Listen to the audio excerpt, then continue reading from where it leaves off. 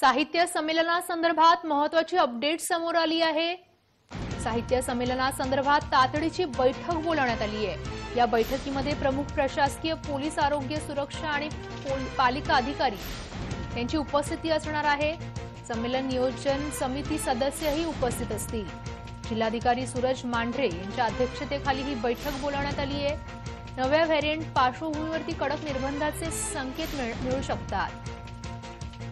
साहित्य संमेलन तोंडावरती येऊन ठेपले त्या दरम्यान तातडीची बैठक बोलावण्यात आली आहे. जिल्हाधिकारी सूरज मांढरे यांच्या अध्यक्षतेखाली ही बैठक बोलावण्यात आली आहे.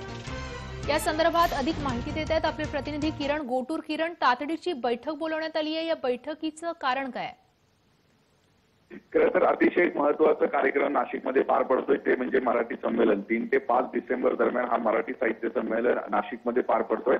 पण या संमेलनावरती आता नवीन व्हेरियंट जो आलेला होता त्या व्हेरियंटचा धोका आहे. आणि मागच्या काही दिवसांपासून जर आपण बघितलं तर नाशिकमध्ये जे थोड्या प्रमाणात होईना कोरोनाचे रुग्ण वाढत आहेत त्यामुळे त्या सगळ्या अनुषंगाने आज ही बैठक आयोजित करण्यात आलेली आहे. कारण संमेलन म्हणल्यावर संपूर्ण राज्यभरातून साहित्यिक असतील किंवा नागरिक असतील रसिक असतील हे सगळेजण गर्दी करत असतात. त्याच पार्श्वभूमीवरती खरं तर या गर्दीमुळे कोरोनाचा प्रसार होऊ नये. त्या संदर्भात आज नाशिकच्या जिल्हाधिकारी कार्यालयात जिल्हाधिकाऱ्यांच्या अध्यक्षतेखाली ही बैठक आयोजित करण्यात आलेली आहे.